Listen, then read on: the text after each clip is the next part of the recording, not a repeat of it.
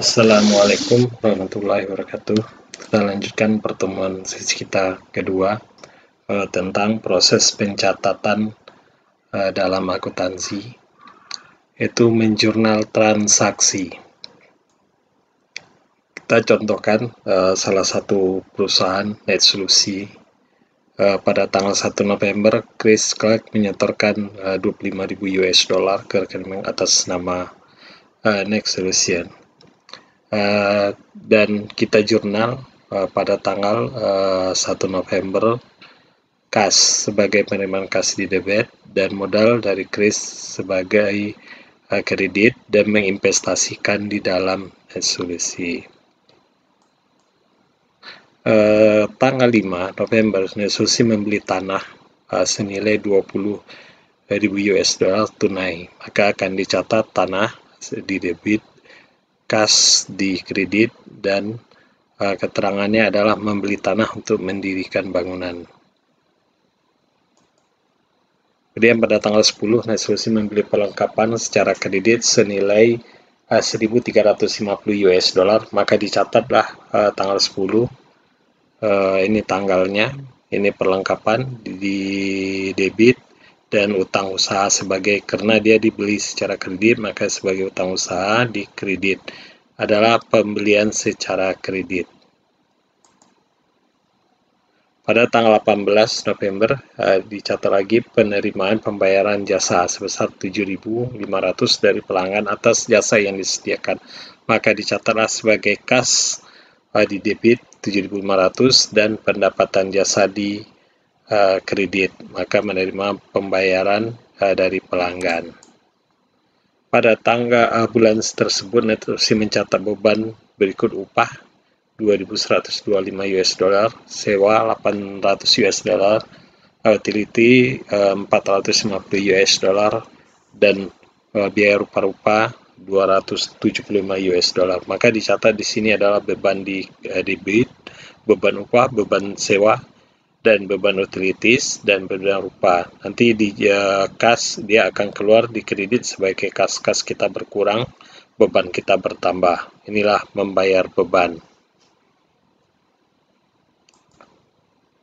Pada tanggal 30 November, SOC membayar ke kreditor sebesar 950. Ini adalah pembayaran atas hutang yang dilakukan pembelian kredit pada saat pembayaran uh, hutang hutang di debit mengakibatkan hutang berkurang dan kas dibayar secara kas mengakibatkan kas berkurang yaitu membayar hutang keterangannya kepada kreditor. Pada tanggal 20 eh, November juga catatan menunjukkan bahwa persediaan perlengkapan sebesar telah digunakan berarti barang yang perlengkapan telah digunakan uh, atau yang telah dipakai adalah beban menjadi beban perlengkapan dicatat di debit mengakibatkan beban bertambah dan perlengkapan mengakibatkan kurang dicatat sebagai kredit. Perlengkapan digunakan dalam bulan November. Pada tanggal 20, uh, 30 November, Keslak juga menarik uang tunai sebesar 2000 US dollar untuk kepentingan pribadi. Pada saat dia menarik, mengakibatkan kas berkurang. Kas dicatat sebagai kredit dan uh, penarikan uh, akan mengakibatkan uh, kurangnya modal daripada uh, untuk kepentingan pribadi. Nah, Netsusin juga membayar premi sebesar 2.400 pada asuransi komprehensif mencakup periode waktu 2 tahun. Pada saat dia mencatat membayar polis, dia akan dicatat asuransi yang dibayar di muka. Maksudnya yang dibayar muka adalah asuransi yang belum dipakai, Nah, itu mengakibatkan timbulnya di debit dan uh, kas akan berkurang karena dibayar untuk jangka 2 tahun. Sebesar 2.400 membayar premi polis asuransi 2 tahun. Kemudian solusi juga membayar sewa uh, bulan Desember. Merupakan beban berarti uh, sewa berkeluar beban sewa di debit bertambah beban bertambah kas berkurang sebesar 800 US dollar ribu US dollar uh, mem membayar sewa untuk bulan Desember. Neslusi uh, juga menerima pendapatan sewa sebesar 360 untuk sewa selama 3 bulan. Pada saat sewa uh, diterima untuk bulan Desember. Sewa itu belum terpakai sehingga dianggap sebagai uang yang diterima mengakibatkan kas bertambah dan sewa diterima di muka sebagai hutang uh, atas uh, nilai manfaat yang belum dipakai untuk tiga bulan. Nah, Nesusi juga membeli peralatan secara kredit uh, eksekutif supply ku sebesar 1.800 perangkapan timbul piutang lagi. Uh, peralatan antar bertambah hutang juga bertambah karena dikredit uh, maka dicatat sebagai peralatan di debit dan hutang di kredit Esusi membayar 140 untuk iklan dan surat kabar. Pada saat dia ada pembayaran iklan pada tanggal 6 Desember, dibayar sebagai beban rupa-rupa dan kas di kredit. Kas berkurang dan beban bertambah.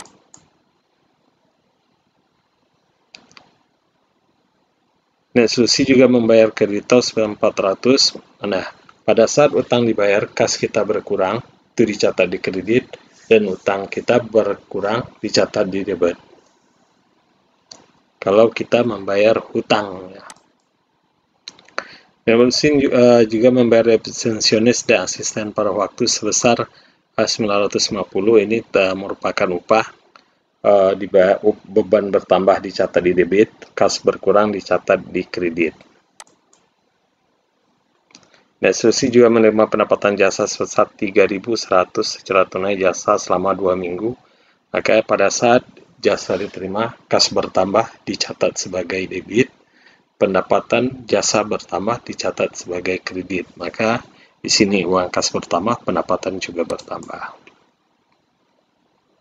Nah, ada juga uh, pendapatan jasa sekret selama paruh tanggal waktu Nah, pada saat jasa itu udah dicatat pada tanggal 16 Desember, kita udah memberikan pekerjaan pada orang, tapi kita belum terima, tapi sudah diakui sebagai pendapatan.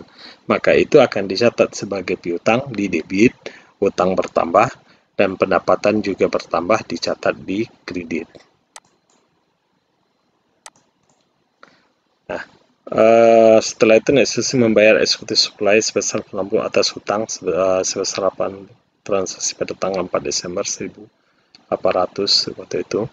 Maka pada saat utang dibayar 900 utang kita berkurang itu akan uh, dicatat di jurnal sebagai kredit eh, debit dan kasnya dibayar dicatat sebagai kredit. Kenapa kas di kredit? Karena uang kasnya berkurang.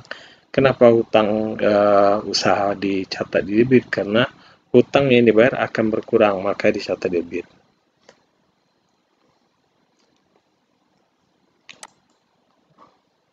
menerima NSBC menerima 6.500 650 dari pelanggan sebagai pelunasan utang.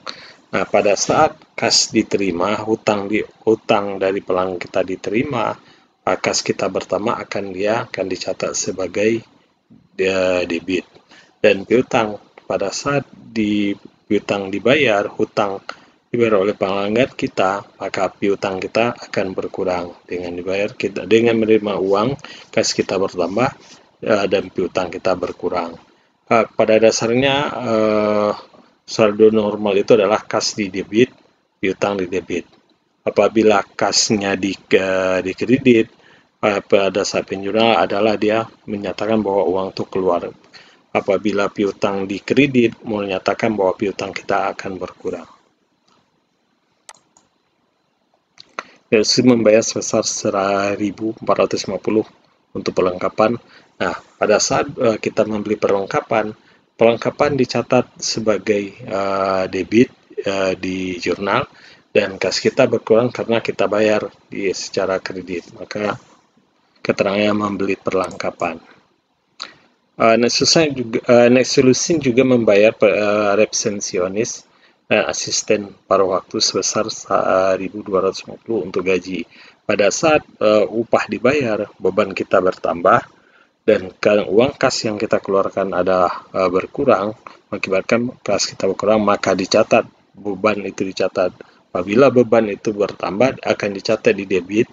Apabila kas kita berkurang, kita catat di kredit. Nah, net solusi membayar tagihan telepon sebesar 310 bulan tersebut. Nah, apabila kita membayar beban, kita bertambah dan kita mengeluarkan uang, uang kita berkurang, uh, pada terjadi dua peristiwa, beban kita bertambah, itu dicatat pada jurnal uh, debit.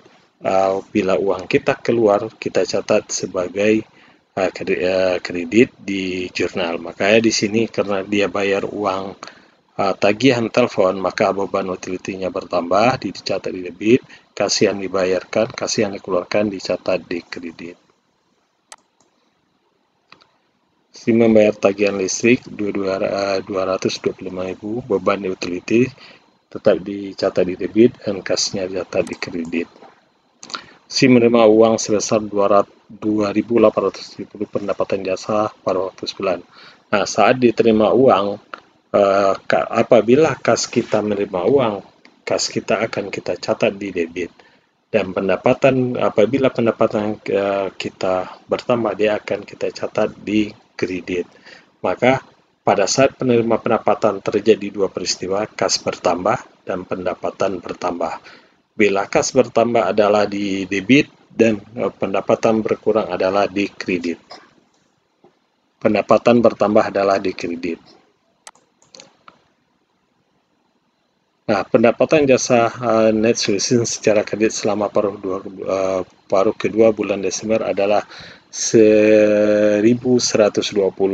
Nah, pendapatan in, uh, belum sudah diakui pada dalam bulan itu dicatat sebagai debit, berarti pendapatan pertama. Tapi kita belum menerima uang dan akan kita catat sebagai piutang. Apabila piutang kita bertambah, akan timbul uh, di debit apabila pendapatan kita bertambah, kita catat di kredit. Maka dengan ada peristiwa secara kredit eh, pendapatan jasa ter terjadi dua peristiwa, piutang bertambah dicatat di debit, pendapatan bertambah dicatat di kredit. Kirslab menarik kas sebesar 2.000 untuk kepentingan pribadi. Nah, pada saat dia menarik, timbul dua peristiwa yaitu uang kas berkurang dicatat di kredit dan modal yang dimiliki kris atau untuk uh, penarik uang dicatat di debit. Dah, setelah jurnal tadi, kita posting ke buku besar.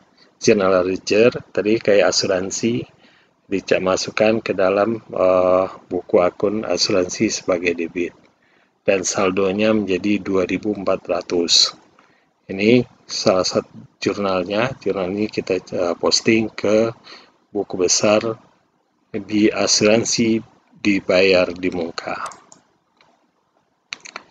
ini ada uh, nomor urut nomor urut. Ini adalah nomor akun. Ini adalah akun ini hari dan ini tanggal ya nanti ini tanggal ini saldo uh, akun kas. Karena dia dibayar secara cash kas kita berkurang di kredit maka dia akan jadi saldo. Uh, sebelumnya 5.900 akan berkurang kas kita 2.400 menjadi 3.500 ini sama ya eh, teman-teman. Uh, akun cashnya Oke. Nah, neraca saldo atau neraca percobaan. Uh, neraca saldo atau neraca percobaan triabelin adalah daftar akun saldonya pada waktu tertentu. Tujuan neraca saldo adalah untuk membuktikan apakah setelah pembukaan jurnal debit itu sama dengan jurnal kredit. Makanya pada saat kita menjurnal, apakah uh, saldo jurnal debit, jumlah debit dengan saldo dengan jumlah kredit harus sama. Yang kedua, mencari letak kesalahan dalam menjurnalan dan pembukuan. Jika terjadi jumlah debit dan kredit tidak sama, itu adalah tujuan untuk mencari kesalahan apakah uh, salah, penjumlahan dari debit dan kredit itu tidak sama. Ketiga, berguna dalam pembuatan laporan keuangan. Itulah gunanya tadi neraca saldo dan neraca atau neraca percobaan. Langkah Langkah pembuatan neraca saldo, mencantumkan nama akun dan saldo. Kedua, menjumlahkan kolom debit dan kredit. Yang ketiga adalah membuktikan kesamaan kedua kolom. Ini contohnya adalah neraca saldo. Ya, jumlahnya sama antara debit dan kredit. Ini pos nanti ini adalah merupakan pos neraca. Dan ini adalah merupakan pos uh, ekuitas pemilik adalah kepunyaan pemilik yang di atas neraca dan inilah pos ekuitas pemilik. Nah, keterbatasan neraca saldo. Neraca saldo tidak menjamin bebas dari kesalahan pencatatan. Neraca saldo itu tidak selalu benar, tapi bisa juga salah dalam pencatatan. Berapa kesalahan tetap dapat terjadi meskipun debit dan kreditnya dalam neraca saldo itu sama. Ke bisa juga terjadi kesalahan bila pun jumlah saldo kredit dan debit itu sama. Pertama disebabkan transaksi belum di jurnal. Kalau di belum di jurnal, dia tidak akan timbul transaksi pencatatan baik itu kredit maupun uh, debit. Nah, kalau salah uh, antara debit dan kredit tidak kita catat dengan transaksi yang sama, dengan jumlah yang sama, dia tidak akan berpengaruh terhadap neraca saldo. Kedua, uh, satu ayat jurnal yang benar belum dibukukan bisa aja ayat jurnal yang telah kita catat dalam jurnal tapi belum kita masukkan neraca saldo. Dia akan tidak akan berpengaruh karena jumlah antara debit dan kreditnya sama.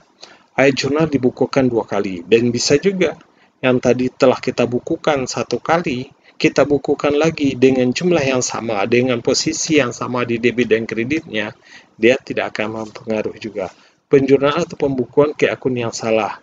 Bisa juga akun dan pembukuan sama uh, telah di jurnal tapi dimasukkan ke akun yang berbeda. Bisa ke akun piutang bisa ke akun kas dan lawannya nanti ada biaya atau pendapatan dan atau pembayaran hutang. Bisa saja terjadi. Terjadi kesalahan penetapan offsetting dalam mencatat jumlah suatu transaksi. Menetapkan inilah yang sering terjadi uh, sampai di sini ya teman-teman uh, proses pencatatan dalam akuntansi yang tadi proses mulai dari uh, jurnal transaksi sampai memposting ke buku besar sampai menghasilkan neraca saldo dan laporan rugi laba nantinya bisa dibuat dari neraca saldo. Oke teman-teman, ya jangan lupa uh, menonton video ini. Semoga berguna bagi teman-teman dalam mata kuliah akuntansi pengantar akuntansi satu ya. Jangan lupa like, subscribe, dan beri komennya tunggu uh, bahan materi uh, berikutnya untuk bab 3 ya. Selamat menonton dan selamat menunggu video berikutnya. Terima kasih teman-teman.